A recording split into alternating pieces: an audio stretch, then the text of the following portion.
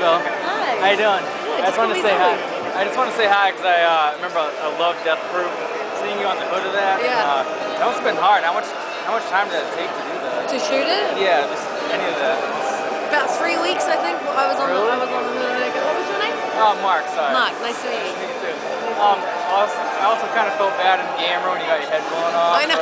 I had so many friends call me. I know, Like, I was like- you just died. What I, the fuck? I know when I saw that, I was like, I wasn't looking forward to it too much. Yeah. But I wanted to see it, and when I saw you come on screen, I was like, wow, she's in this too. Yeah. And, and then I got into it even more, and then, and then I saw you die, and I was like, oh, I know. come That's on. what my That's- friends were like. They were like, messed up. "What? What are you dying for?" I I, was like, "I don't know. Keep tapping into you." Wow. Oh, wow, that's actually nice. Cool light. Um, would you, would you be able to take a picture of me real quick? or- Oh, thank you so much.